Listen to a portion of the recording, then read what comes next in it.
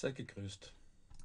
Ich habe hier so ein kleines Beispielprojekt und das möchte ich jetzt auf eine andere Möglichkeit, auf die virtuell, virtuelle Realität setzen. Ah, da bin ich etwas unter Null oder gerade nicht im richtigen Geschoss. Mal schauen. Was ist dabei? Hier, Blender. Org, äh, wenn ich da das downloade, also dann bekomme ich eben die Möglichkeit für Apple oder für Windows wie in diesem Fall das downzuladen. Das kann ich dann installieren. Wenn das passiert ist, nochmal zurück. So. Wenn das passiert ist, habe ich die Möglichkeit Blender zu starten.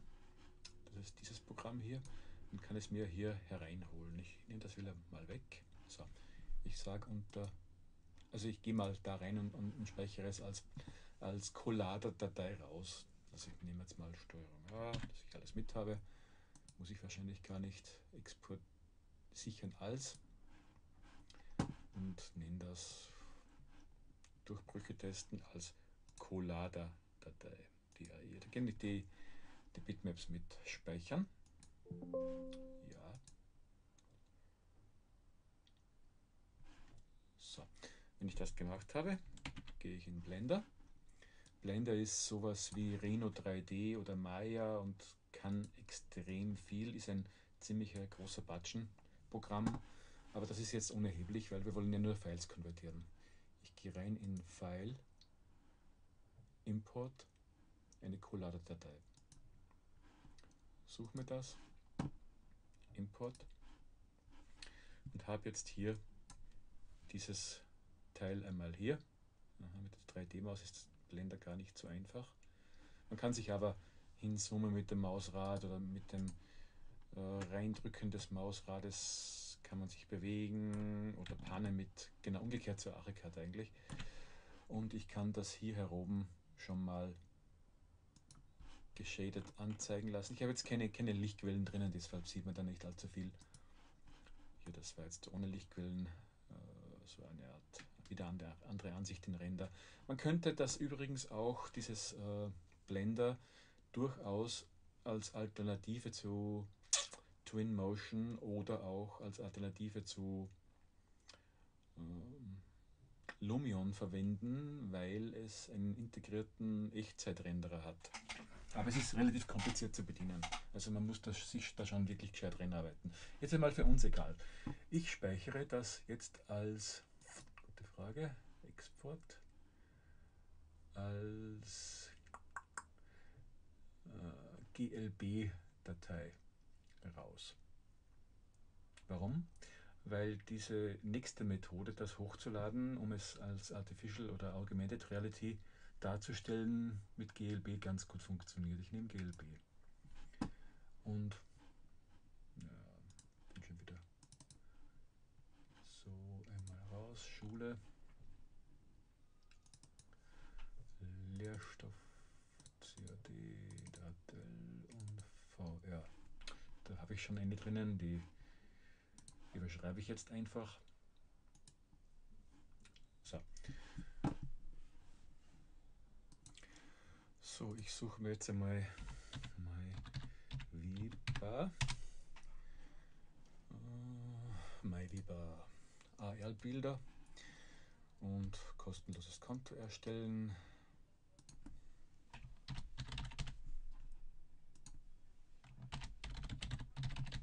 Mooslechner. Dann nehme ich die, diese hier, Passwort.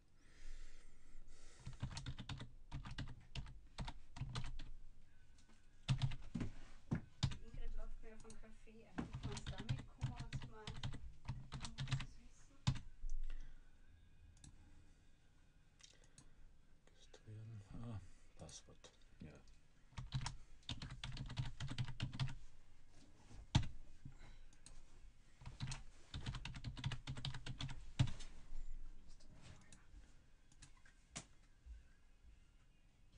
So, jetzt habe ich das äh, angemeldet. Ja, da speichere ich mal in meinem Browser und dann bekomme ich in so eine Art Editierfunktion rein.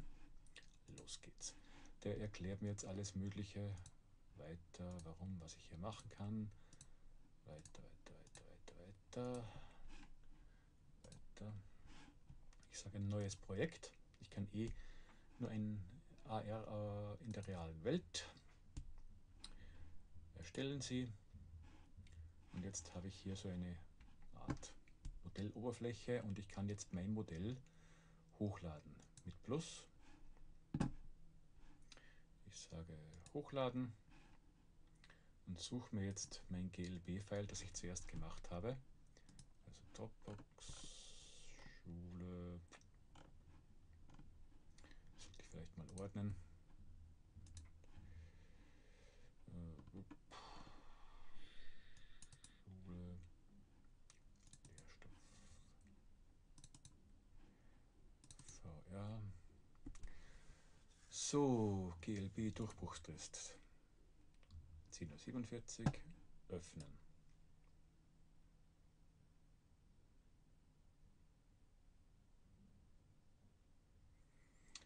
So, ich, das soll er ruhig optimieren.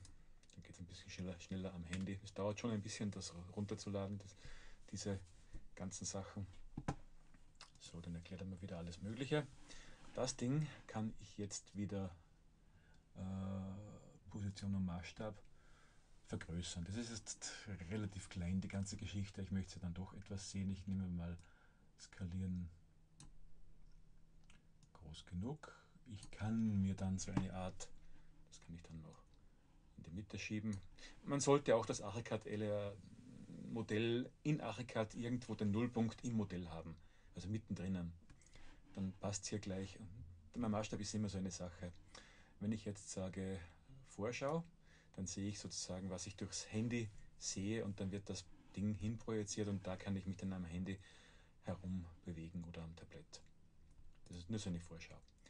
Und dann, wenn ich das habe, kann ich sagen, veröffentlichen. Und bekomme so einen QR-Code, den ich dann am Handy oder am Tablett mit dem Webbrowser sozusagen übernehmen kann. Und der führt mich dann auf eine Seite, das geht am Handy, am Android zum Beispiel mhm. am Google Chrome.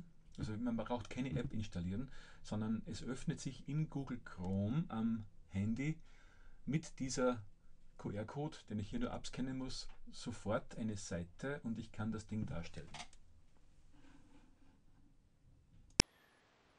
Und am Google Chrome im Android kann ich hier, das ist jetzt ein bisschen blöd, so, kann ich hier mit Foto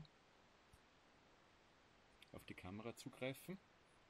Da sehe ich jetzt praktisch das, was auf der Kamera ist. Da brauche ich dann nur mehr auf diesen Rebar fahren. Der erkennt das sofort. Macht er mir brav auf. Er sagt jetzt, er braucht jetzt auch eine Oberfläche, wo er es hin projizieren kann. Ich tippe einfach mal drauf und schon habe ich auch auf meinem Handy diese AR-Darstellung, wo ich mich herumbewegen kann. Also das ist in dem Fall vollkommen egal, ob am Apple-Handy oder am Apple-Tablet oder Android-Handy oder Tablet, weil es über einen Webbrowser funktioniert, über Google Chrome in diesem Fall. Gut, das wollte ich euch noch zeigen. Schöne Tage und schöne Grüße aus Salzburg. So, dann wollen wir schauen, wie es am Apple Handy oder Tablet funktioniert.